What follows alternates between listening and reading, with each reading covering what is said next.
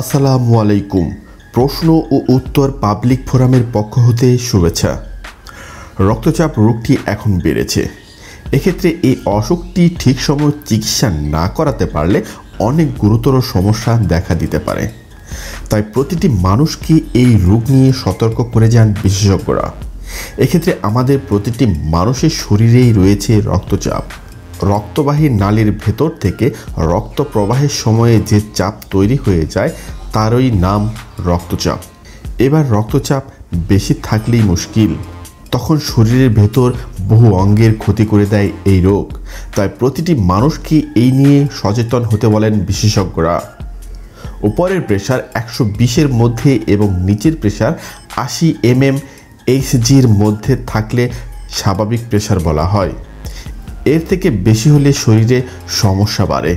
এই অবস্থায় দাঁড়িয়ে উপরের প্রেশার একশো চল্লিশ এবং নিচের প্রেশার নব্বই সুই বলা যেতে পারে হাই প্রেশার আর স্বাভাবিক থেকে হাই প্রেশারের মাঝামাঝি স্তরকে বলা হয় হাই নর্মাল এবার প্রেশার বেশি থাকা কিন্তু কোনো মতেই ভালো নয়। কাদের বেশি হয় উচ্চ রক্তচাপ?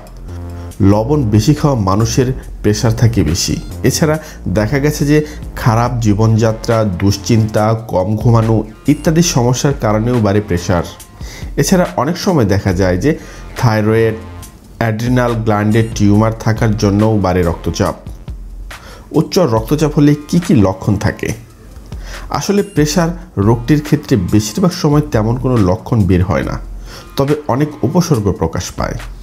এক্ষেত্রে থাকতে পারে মাথার পেছনে ব্যথা, সকালের দিকে মাথা ব্যথা বাড়ে, মাথা ঝিমঝিম করে, অস্বাভাবিক ঘাম হয়, শ্বাসকষ্ট, বুক দরফর করতে পারে। তাই প্রতিটি মানুষকে অবশ্যই এই লক্ষণ নিয়ে সতর্ক হয়ে যেতে হবে।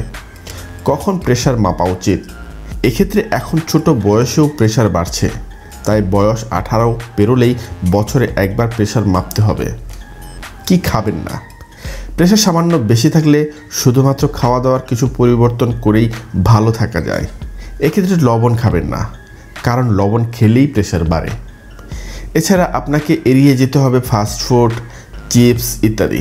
এছাড়া আপনাকে পর্যাপ্ত ঘুমাতে হবে, দিনে ছয় ঘণ্টা ঘুম চাই। পাশাপাশি দুশ্চিন্তা দূর করুন। ঔষধ কতটা কার্যকরী? প্রেশারের অনেক ঔষধ রয়েছে। প্রতিটি ঔষধের কাজ করার ধরন আলাদা। এবার এই ওষুধগুলিকে ঠিকমতো ব্যবহার করতে হয়। আর এই ওষুধগুলি অত্যন্ত কার্যকরী। সহজেই এই ওষুধের সমস্যা কমে যেতে পারে, তাই চিন্তার কোনো কারণ নেই, বরং সমস্যা সহজেই কমে।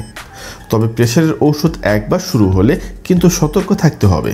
সেক্ষেত্রে মাঝে মাঝে প্রেশার মাপতে হবে, কারণ এর ডোজ কম বেশি করতে হতে পারে। সেক্ষেত্রে একই ডোজ বা একই ঔষধ দীর্ঘদিন খেলে শরীরের সমস্যা দেখা দিতে পারে, তাই সচেতন থাকতে হবে। আমাদের সমস্ত আপডেট পেতে এখনই চ্যানেলটি সাবস্ক্রাইব করুন, প্রশ্ন থাকলে কমেন্ট করুন, ভালো লাগলে লাইক ও শেয়ার করুন। ধন্যবাদ।